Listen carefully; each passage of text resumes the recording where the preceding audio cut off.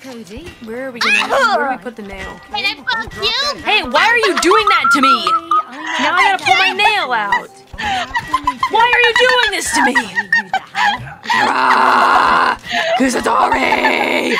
Yeah!